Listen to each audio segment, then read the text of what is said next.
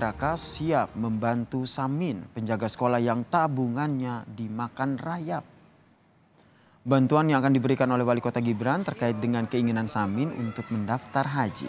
Namun Gibran masih menunggu hasil penghitungan Bank Indonesia soal berapa jumlah uang yang bisa diganti.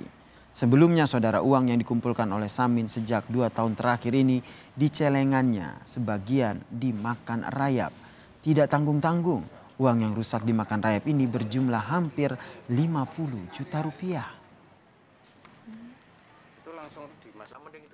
Nanti kita lihat dulu sama Pak Joko ya Pak Joko BI. Hmm. Duitnya yang bisa di masih terselamatkan berapa juta. Hmm. Nanti sudah ada beberapa biru hmm. sing meh bantu. Ini tenang nih. Tapi engkau sih ya. Umroh. Ben anu sih. Ben dihitung Pak Joko. Oh. Ada yang memberangkatkan umroh buat yang dari biru-biru. Tenang Pak ya. Tenang Pak ya. Tenang tenang tenang. Niatnya nabung kan pengen umroh. Hmm. Haji. Haji. Haji. Haji. Ya, nanti tak bantu. Hmm ya tapi nek urusan duit hmm. Pak Joko iya hmm? sesuai sesuai tujuannya menabung hmm. nah, nanti tak bantu ya. Sungguh sedih hati Samin, seorang penjaga sekolah dasar negeri Loji Wetan di kota Solo, Jawa Tengah. Betapa tidak, Uang yang ia kumpulkan sedikit demi sedikit untuk ke tanah suci dari hasil jerih payahnya bekerja membanting tulang dimakan rayap. Uang yang sebagian besar menjadi serpihan ini nilainya hampir mencapai 50 juta rupiah. Ia tabung selama lebih dari dua tahun di celengan plastik di dekat tempat tidur. Samin pun mendatangi Bank Indonesia perwakilan Solo ditemani sang istri. Tim yang bertugas segera memeriksa kondisi uang yang rusak. Ternyata ada syarat yang harus dipenuhi supaya uang rusak bisa diganti yang baru. Sisa uang setidaknya 2 per 3 dari ukuran penuh uang. Syarat-syaratnya untuk mendapat penggantian itu harus memiliki size atau ukuran minimal 2 per 3 dari ukuran penuh. Nah, terus kemudian kalau uang yang seperti ini terus bagaimana?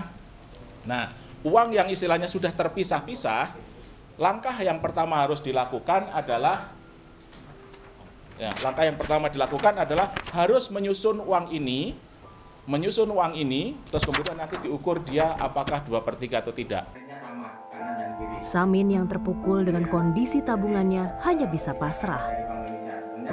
Ya gitulah, sudah saya terima dengan lillahi ta'ala walaupun sedikit ada yang kurang berkenan di hati saya gitu aja pembelajaran ke depan apa? pembelajaran ke depan insya Allah ini jadi pengalaman keluarga saya terutama dan semua pada semua warga Indonesia jangan menabung di tempat seperti saya setelah insiden ini, Samin berjanji pada diri sendiri dan mengajak orang lain untuk menabung di tempat yang semestinya untuk menghindari uang dimakan rayap.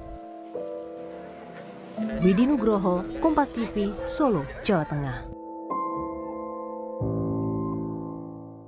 Dan untuk membahas syarat penukaran uang dan hasil pertemuan Pak Samin, sang penjaga sekolah yang uang celengannya ini rusak dimakan rayap dengan pihak Bank Indonesia, sudah bersama kami Pak Nugroho Joko Prastowo, Kepala Perwakilan Bank Indonesia Solo. Selamat malam, Pak Nugroho. Selamat malam.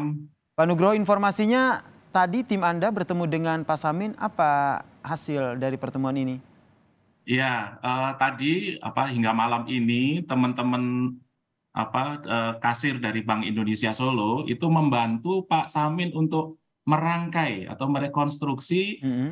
apa potongan-potongan uh, uang yang tersisa dimakan rayap itu sehingga bisa memenuhi syarat minimal dua per tiga dari luasan ukuran uang itu untuk mendapat penggantian. Dan Baik. alhamdulillah semakin semakin bertambah jumlah uang yang bisa di apa rekonstruksi dirangkai kembali sehingga bisa diganti nanti dengan uang baru gitu. Totalnya sudah ada berapa? Uh, akhirnya setelah rekonstruksi uang, akhirnya totalnya sudah berapa uang dari Pak Samin ini yang bisa diganti?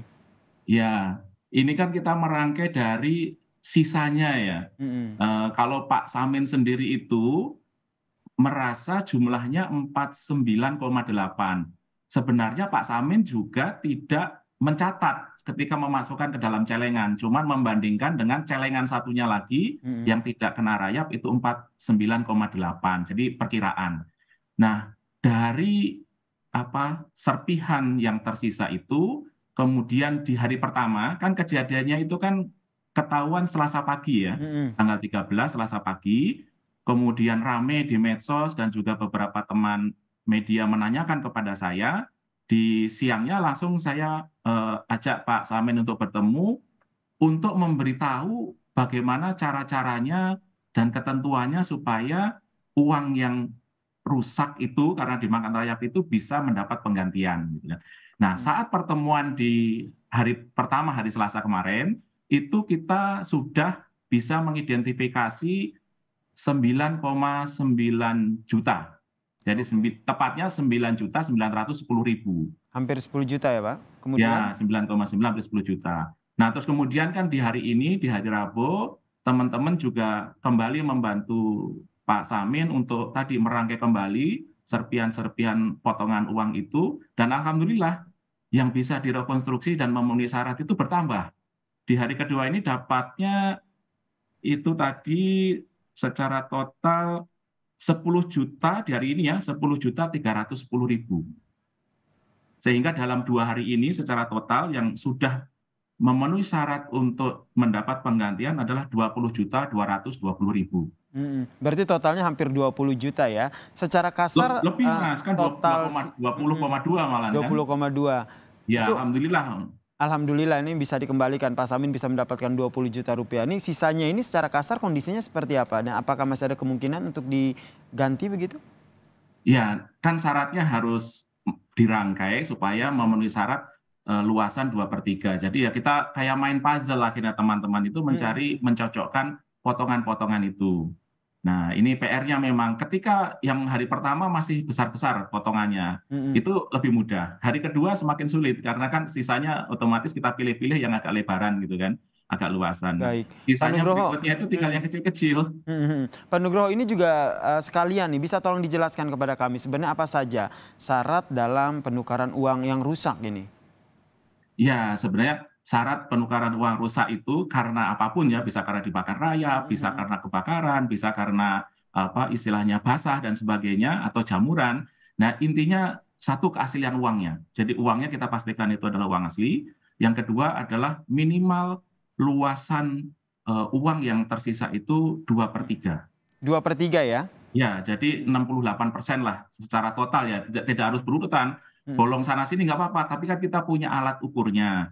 Ada yang otomatis yang menggunakan scanning, ada juga tadi yang menggunakan apa istilahnya eh, kotak-kotak tadi dihitung kotaknya yang masih ada berapa gitu karena perbandingan itu. Mhm. Pak Nugroho kemudian tadi bertemu dengan Pak Samin, ada tidak pembicaraan untuk uang yang akan dikembalikan, ini hampir 22 ju- 20,2 juta rupiah ini akan dikembalikan dalam bentuk apa? Apakah langsung dibikinkan rekening dalam bank tertentu atau seperti apa?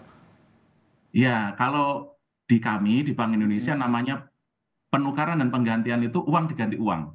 Oke. Nah, harapannya setelah itu Pak Samin menyetorkan ke rekening tabungannya. Hmm. Nah, yang kemarin satu satu celengan yang tidak terkena rayap itu sudah disetorkan Sudah kemarin. disetorkan ya? Mhm. Mm-mm, jadi sudah sekarang Pak Samin sudah biasa menabung sekarang.